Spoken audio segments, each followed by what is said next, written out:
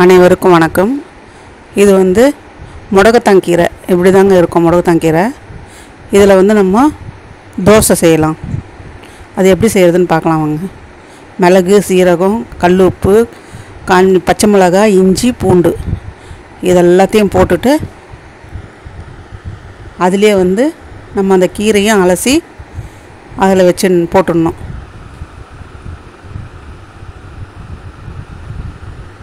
போட்டுட்டு இட்லி அரிசி ஊற வச்சுருக்கேன். ரெண்டு அழாக்கு போட்டிருக்கேங்க இட்லி அரிசி. இந்த அழாக்கில் ரெண்டு போட்டிருக்கேன்.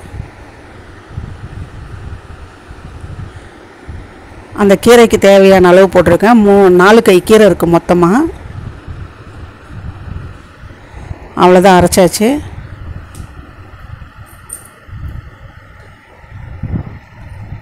நம்ம இதை தோசையாக ஊற்றிடலாம்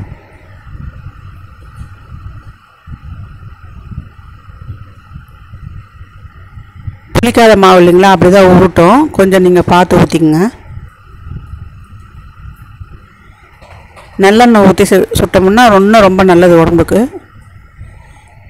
இந்த கை கால் மூட்டு வலி இதெல்லாம் இருக்கிறவங்க சாப்பிட்டாங்கன்னா ரொம்பவே நல்லது இது. அவ்வளோதாங்க நம்ம தூதுவளை தோசை ரெடி ஆகிடுச்சு ரொம்ப சிம்பிளாக ரொம்ப ஆரோக்கியமானது. நீங்களும் ஒரு முறை செஞ்சு பாருங்கள்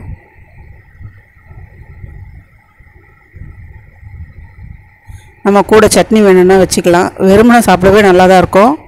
வேணும்னா சட்னி கூட வச்சு சாப்பிட்லாம்.